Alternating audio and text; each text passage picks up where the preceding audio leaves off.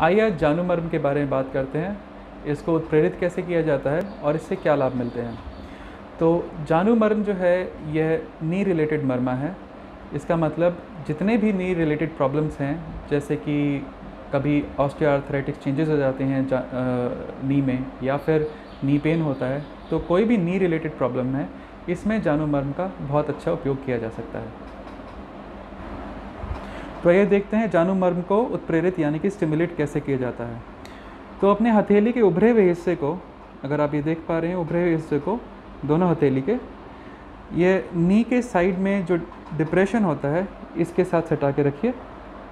और उसके बाद आपके दोनों अंगूठे हैं, वो टिबियल बोन के साइड में जाएँगे, दोनों साइड और आपकी चारों फिंगर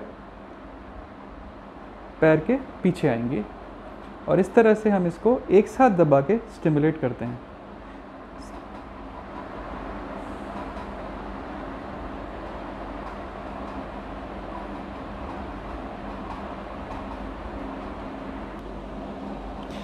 तो जानू मरम पीछे की तरफ़ से, पैर की तरफ़ से ये कुछ इस तरह से दिखाई देता है। तो आप देखेंगे कि ये उंगलियाँ पैरों के बीचों बीच नहीं जाकर साइड में हैं। तो इसको ऐसे प्रेस करना है। पीछे की तरफ़ आप ध्यान से देख पाएँगे। तो इस तरह से दबाया जा रहा है। तो एक चीज़ का ध्यान रखिएगा कि बहुत ज़्यादा इसमें प्रेशर नहीं डालना है। और दूसरी चीज़, जो पुरुष हैं, वो दाहिने पैर से शुरू करके फिर बाएँ पैर की तरफ़ आएँ।